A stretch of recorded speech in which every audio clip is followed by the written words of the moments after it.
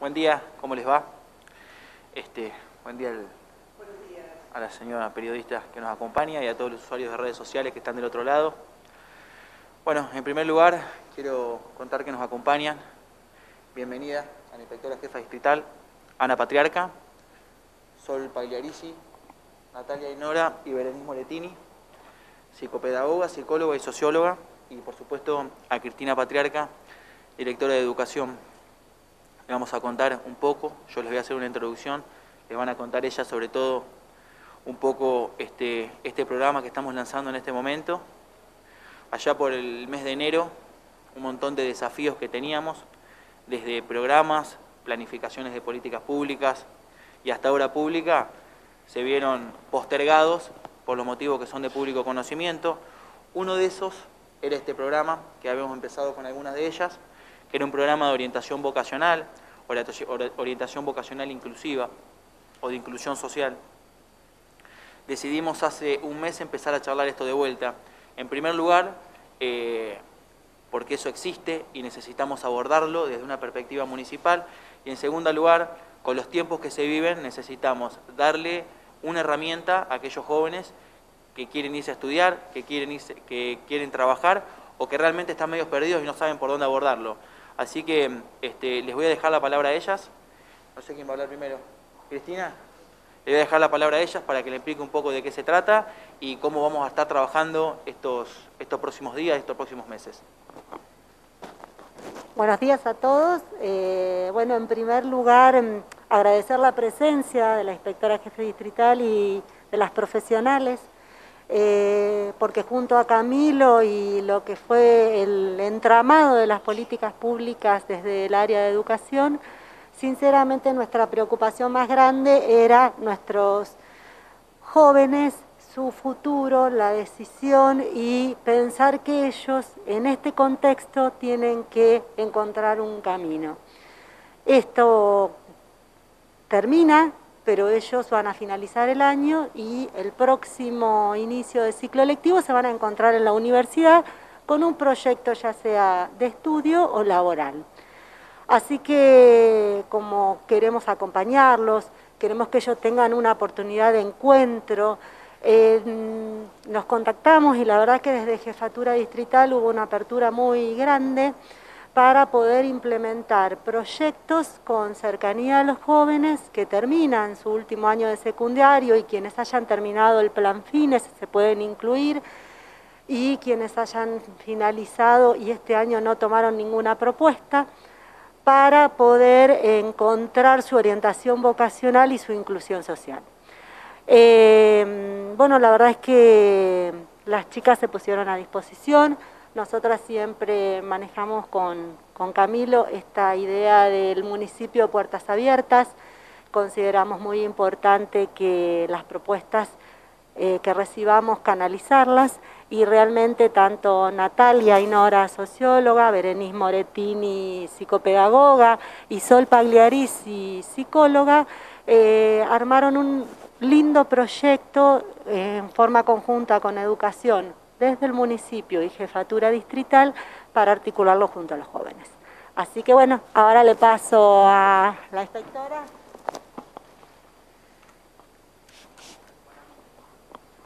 Bueno, buenos días a toda la comunidad de Salto. Em, bueno, en realidad cuando nosotros recibimos esta propuesta de jefatura distrital, eh, de la mano de Camilo y de la directora de educación, pero muy especialmente el interés de Camilo como como responsable de políticas educativas dentro del, municipio de Salto, la gran preocupación por pensar en el futuro de los jóvenes y de cómo ayudarlos y acompañarlos en este proceso. En este contexto de pandemia, esta propuesta pasaba a ser relevante, porque desde Jefatura Distrital y en forma conjunta con la Inspectora de Educación Secundaria, Iván Angelicola, empezamos a percibir eh, cómo los alumnos día a día y los jóvenes y adolescentes iban perdiendo el interés ¿sí? por el estudiar, el interés por pensar en el futuro. Y esta es una preocupación que tenemos, eh, que nos moviliza a pensar en diferentes herramientas o en diferentes estrategias y que esta propuesta, que venía de la mano del municipio, eh, a través de estas tres profesionales de lujo, ¿sí? Eh, tanto Sol, tanto Berenice como Natalia, eh, venía a dar respuesta a tratar, intentar hacer algo y avanzar por pensar en que los chicos, acompañar a los jóvenes y adolescentes para que piensen en un proyecto de vida, para que piensen en un futuro. Para muchos esto puede resultar en este momento poca cosa, pero nosotros, eh, junto con la inspectora de secundaria, estamos altamente preocupados porque los jóvenes, esta pandemia como nos afecta a los adultos, los afecta a ellos y el desinterés y la falta de proyecto de vida eh, está impactando altamente y no precisamente para bien. Eh, así que bueno, les cuesta visualizar su futuro, por lo cual creímos que esta estrategia y este, este proyecto muy bien fundado que nos presentaba el municipio y canalizado a través de profesionales, podía atender esta necesidad y tratar de motivar y estimular a los adolescentes a que vuelvan a pensar en su futuro, a sacarlos del el encierro, el encierro virtual que tienen, pero no deja de ser encierro, para que piensen que mañana vamos a salir y que hay que pensar que hay una vida, que hay un proyecto y que hay un camino que hay que andar. ¿Sí? Así que le voy a dar la palabra a Sol para que ella les explique bien en qué consiste, pero yo quiero expresar mi agradecimiento tanto a la propuesta de las chicas como a Camilo que dio curso a esta propuesta y que realmente a nosotros viene a educación, viene a atender la gran problemática del momento con los jóvenes y adolescentes. Bueno, buen día a todos. Bueno, les cuento que este proyecto parte eh, un poco desde, desde lo privado en un principio, a partir de empezar a escuchar nosotras determinadas demandas que presentaban de eh, los jóvenes de espacios de escucha por verse eh, en determinada etapa de su vida eh, presionados o, conmovidos por tener que, tomar una decisión que nada, que los estresaba, que los ponía nerviosos, que los angustiaba, que los ponía ansiosos. entonces se nos ocurrió presentar un proyecto a la municipalidad para poder llegar a la mayor población posible. El proyecto desde un principio propone eh, como eje la orientación vocacional, se van a trabajar ejes de la orientación vocacional, eh, pero está pensado eh, mediante recursos que puedan ser lo más inclusivos posibles. la idea es llegar a todos, por lo tanto propusimos o pensamos recursos para llegar a todos. Eh, en, un primer momento se vio eh, puesto en suspenso por toda la situación que estamos atravesando, que obviamente queremos decir que para nosotros no es menor, eh, pero después, bueno, nos llamaron de la municipalidad para ver si había un modo de retomar, porque ellos estaban viendo todas estas cuestiones que parecía importante que fueran atendidas. Entonces, volvimos a adaptar el proyecto a la situación actual, de pandemia actual. Obviamente va a ser llevado a cabo mediante una modalidad virtual. Eh, vamos a utilizar eh, las plataformas de, Google Classroom y, Meet, eh, porque entendemos que son aplicaciones que ya están usando los jóvenes hoy, o la mayoría de jóvenes, y eso evitaría que tengan que bajar nuevas aplicaciones. Pero eh, vamos a indagar acerca de la conectividad de cada persona que se inscriba, que decide inscribirse a los talleres y en caso de que no haya posibilidad de acceso a esas aplicaciones, tenemos alternativas pensadas mediante grupos de WhatsApp, eh, mediante vivos de Instagram, que en general son redes sociales que todos los jóvenes utilizan, eh, y, mediante la radio. el taller obviamente que es un taller grupal, eh, tenemos pensadas entrevistas con profesionales eh, o con distintos trabajadores de distintas áreas eh, para que los jóvenes puedan ir entrevistando, no solo lo que tiene que ver con, las distintas áreas o con las distintas disciplinas, sino también con que poder trabajar esta cuestión que la elección vocacional o, la elección de un proyecto de vida a todos en algún momento se nos hizo difícil, eh, incluso muchas veces eh, esa dificultad se reactualiza porque a veces tomamos decisiones y después suele pasar que eh, no nos gusta o que no nos va bien o un montón de factores que pueden influir en esas decisiones. Entonces la idea es acercar las distintas versiones de, cómo cada uno fue construyendo su, proyecto laboral. en el Classroom va a haber la idea es que se genere un intercambio de información. Eh, nosotros ya armamos la plataforma y ya estamos subiendo las distintas propuestas académico-laborales, no solo universitarias, privadas y públicas, sino también la oferta académico-laboral de Salto eh, o las posibilidades de cursada virtual que, tienen algunas universidades también. Eh, Vamos a intentar que sean grupos reducidos en esos talleres para, para, poder atender eh, las cuestiones de un modo lo más cercano posible. Eh, y vamos a utilizar, ya acordamos, dos franjas horarias, una de mañana y una de tarde, para llevar a cabo los talleres. nada, la idea es poder llegar a la mayor población posible. El taller obviamente es gratuito, eh, que se acerquen, que, bueno, acá vamos a ser tres personas intentando acompañar lo más que podamos y la idea siempre fue también un taller que apunte a generar una red de contención social para todos los jóvenes que hoy se encuentran eh, ansiosos ya de por sí por, por tener que, porque esta pregunta no deja de hacerse.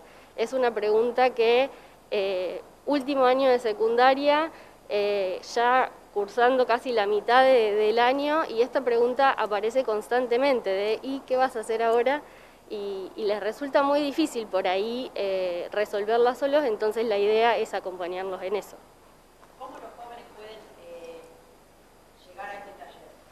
Nosotros vamos a difundir números de teléfono, tres números de teléfono, ellos van a mandar mensajes a cualquiera de los tres números de teléfono y ahí se van a contactar con cualquiera de nosotras tres y, vamos a, obviamente les vamos a pedir nombre, apellido, escuela a la que pertenecen, DNI, y ahí vamos a indagar sobre la posibilidad de conectividad que tenga cada uno de ellos. En base a la conectividad que ellos tengan, van a poder acceder al Classroom o en todo caso vamos a utilizar la otra vía, la vía alternativa, que es la vía eh, por WhatsApp.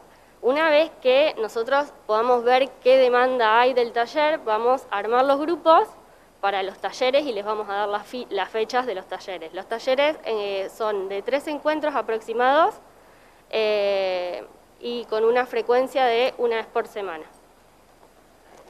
Quiero agregar a tu pregunta que también a través de las escuelas los chicos van a poder manifestar el interés de participar. ¿Eh? Así que bueno, si ustedes por ahí eh, no tienen los teléfonos a mano, eh, nosotros lo que estamos es articulando con los directivos directivos a través de la inspectora de las escuelas secundarias para que los alumnos tengan la información y poder acceder en forma voluntaria, ¿sí? Para todos aquellos que tengan interés. Pero la escuela es otro medio y es importante que aquellos que por ahí no pueden acceder por Classroom, porque fue uno de los temas que surgió, porque a lo mejor viven en barrios periféricos que no tienen buena conectividad, eh, se está pensando en otro tipo de estrategia. Pero si tienen el interés que lo manifiesten, que lo manifiesten en la institución educativa para que la institución educativa lo pueda relevar con el equipo y de esa manera ver si no llegan por Classroom o, eh, o la otra aplicación, poder llegar de, por otras vías. Pensamos en radio, pensamos en otras alternativas. ¿eh? Lo, lo, digo porque por ahí no sé, no sé, ella habló solamente de estas dos porque es a la que más llegan los chicos, pero estamos pensando en aquellos que no pueden acceder a esto, para que sepan. Una pregunta. Eh, sola aclaración.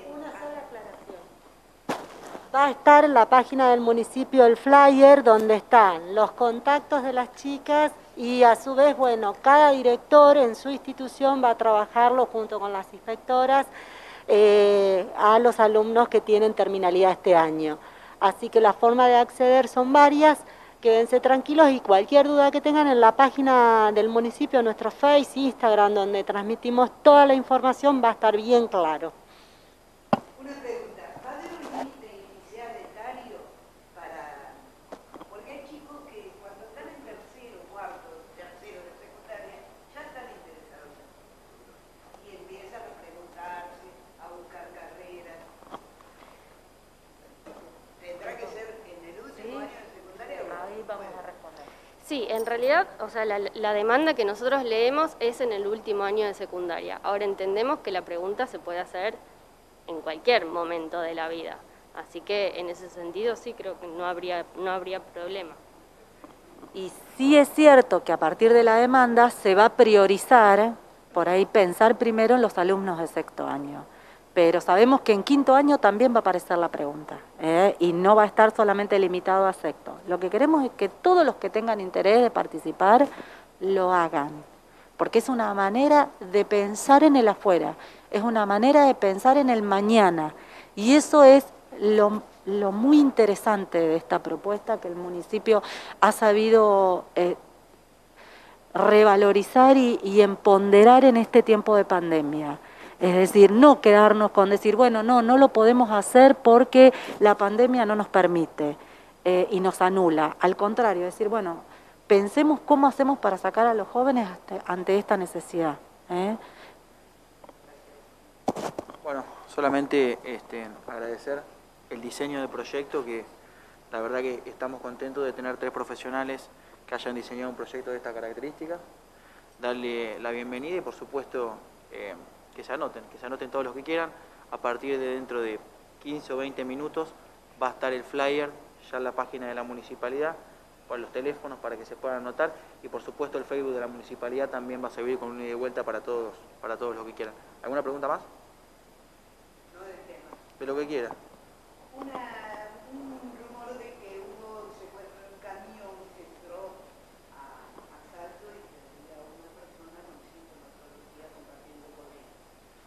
Ayer a las 11 de la noche se comunicaron al hospital este, el dueño del camión que venía este, el camionero con síntomas este, eh, compatibles con COVID-19 este, para tener la tranquilidad y llevarle la tranquilidad a todos los que, los que escucharon el rumor. Inmediatamente el hospital, eh, en operativo con la, con la Secretaría de Seguridad, Policía Comunal y Monitoreo, pudieron hacer el transbordo, el camión pudo, pudo ser dejado en una estación de servicio en la ruta 32, fue desinfectado hoy a la mañana y el paciente fue eh, llevado al hospital, eh, fue hisopado y por supuesto ya ahora está en su casa y se encuentra en muy buen estado de salud. Así que no tuvo contacto con absolutamente nadie, está aislado, ni con policía, ni con personal de seguridad, ni con los playeros de la, de la estación de servicio, solamente por el personal indicado para hacer este tipo de tareas, que es enfermería y médicos. Así que sí, no, todavía no es positivo. Eh, tiene, presentó síntomas compatibles, así que activamos el protocolo como, como, como se debe y bueno, y brindarle la calidad de, de salud que tiene que tener un, un, trabajador esencial como es un camionero. ¿Y zona de la que dejaban? No lo sé, no lo sé, no lo sé porque había estado en dos lugares. Sí te puedo decir que hace un tiempo había estado en el mercado central. Probablemente este, no haya traído el virus instantáneamente porque hay un tiempo estimado de incubación. Así que estamos haciendo el seguimiento y todo. Pero para llevarle la tranquilidad de que la persona está aislada, los médicos y el personal de seguridad estuvieron trabajando, estuvimos trabajando hasta las 2 de la mañana. Gracias a ustedes.